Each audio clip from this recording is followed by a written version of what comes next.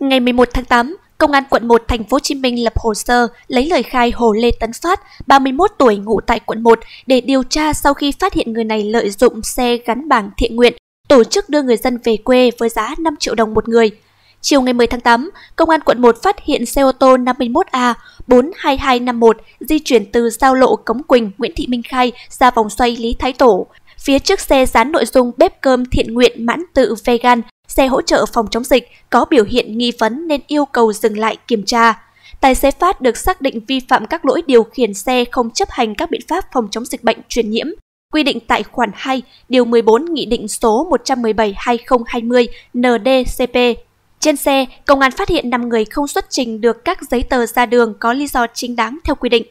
Phát khai do biết có nhiều người có nhu cầu về quê nên đã dán tấm bảng với nội dung xe thiện nguyện để qua mặt các chốt kiểm soát COVID-19.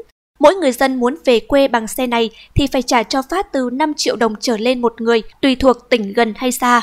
Để tiếp nhận khách hàng, Phát đăng tin quảng cáo trên mạng xã hội. Bạn có video hấp dẫn Bạn bắt gặp được những khoảnh khắc độc đáo Hãy gửi về plo a vòng pháp luật tb.vn để nhận ngay quà tặng và những bút hấp dẫn.